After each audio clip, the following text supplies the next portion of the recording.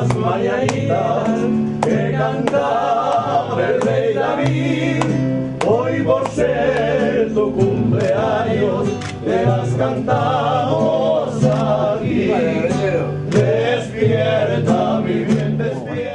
Alfredo Di Stefano ha cumplido 85 años. Sus amigos del Club de Veteranos, Emilio Butragueño y el propio presidente del Real Madrid, Florentino Pérez, han querido acompañarle en una celebración sorpresa que ha tenido lugar en el restaurante Casa Juan, Marca.com ha querido estar con él en un día tan especial.